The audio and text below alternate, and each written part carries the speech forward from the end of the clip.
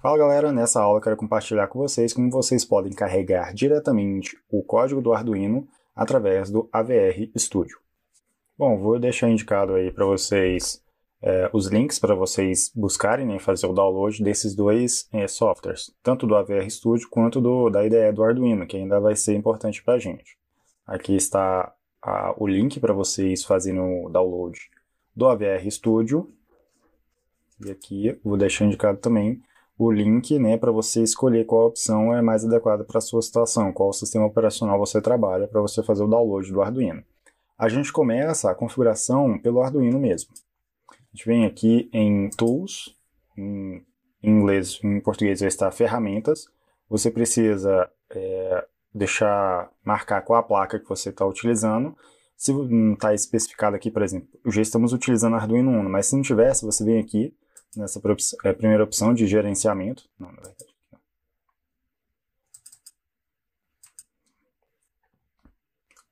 Se não tivesse, você vem aqui para selecionar qual a placa, e aí temos diversas, você escolhe a que você estiver utilizando, Arduino Uno. Depois, você vem aqui em porta e marca a opção que está o seu Arduino nesse momento, no, via cabo USB, o seu Arduino precisa estar conectado. Aqui está com 3, pronto. Você vem aqui em Arquivo, Preferências e marca essa opção. Aqui está Upload.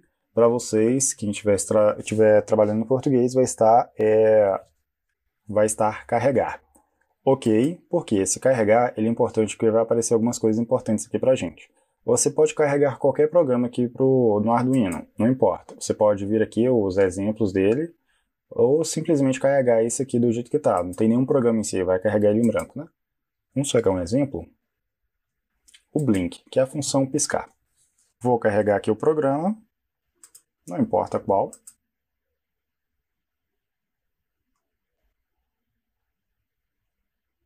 Olha lá, a função blink já está funcionando.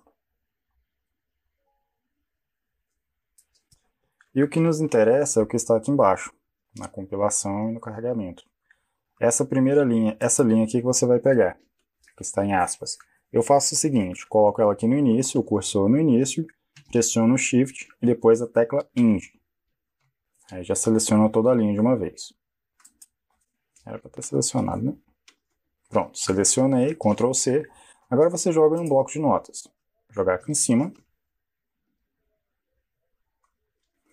Vamos fazer algumas mudanças aqui. Para começar, no finalzinho aqui, depois de AVR Dude, você dá um Enter.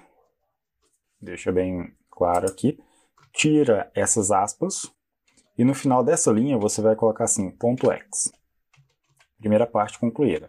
Agora nessa parte aqui, você vai fazer algumas alterações. Novamente, tirar esses, essas aspas. Opa, acho que eu apaguei a coisa errada. Deixa eu ver. Aqui. E no final aqui também. E aí vamos fazer... Opa, eu tenho que deixar o i.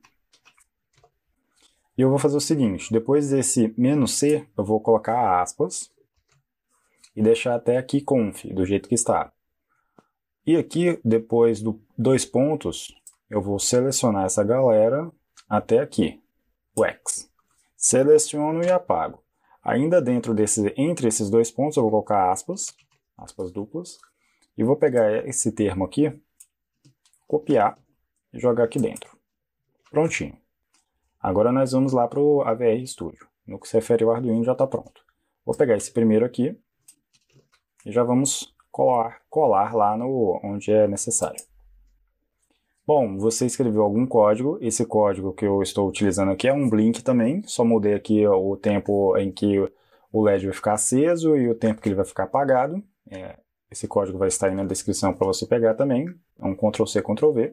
Você vai vir aqui, ó, fazer todo o processo uh, project. Aí vou copiar esse aqui para eu replicar aqui com vocês, fazer tudo junto. Ctrl C. Você vem aqui em New Project. Você escolhe aqui a opção C, C++, GCC, executável. Dá um nome, colocar aqui Blink. Colocar um nome aleatório aqui, pra, porque tem vários códigos assim. Pronto. Ok. E aí você tem que selecionar qual microcontrolador você está utilizando.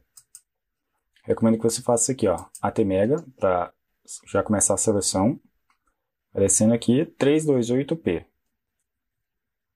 328P está aqui. Se você tiver outro microcontrolador, aí você tem que dar uma olhada aqui e selecionar qual que você está trabalhando. Ok. Aqui em main, seleciona tudo isso aqui e cola. É aquele código. Volta lá no bloco de notas, seleciona novamente, Ctrl C. E agora a gente vai aqui, ó, em Tools ou Ferramentas, External Tools, e você vai adicionar. Vou adicionar um aqui, eu vou dar o nome de Arduino Uno.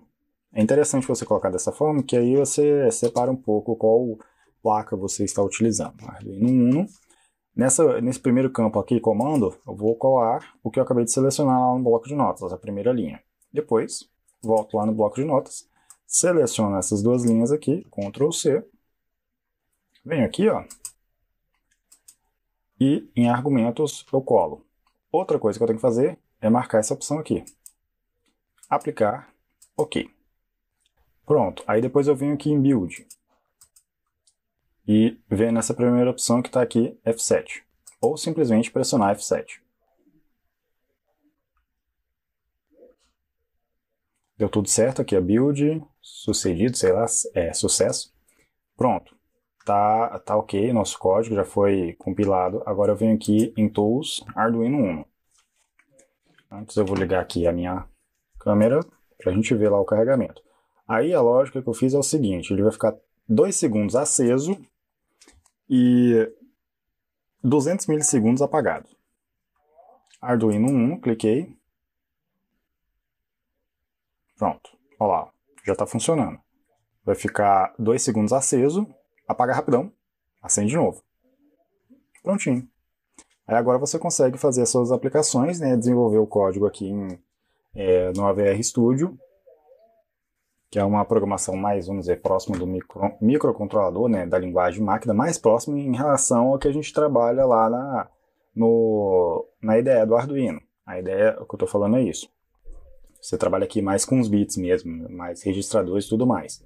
E aí você já consegue, com uma única ferramenta, já fazer todo o processo de escrita e gravação, além da compilação. Se gostou dessa dica, deixe seu curtir, se inscreva no nosso canal caso não seja inscrito e ative o sininho para receber a notificação de novas aulas. Vou publicar aulas todos os dias sobre esse tema de AVR e Arduino.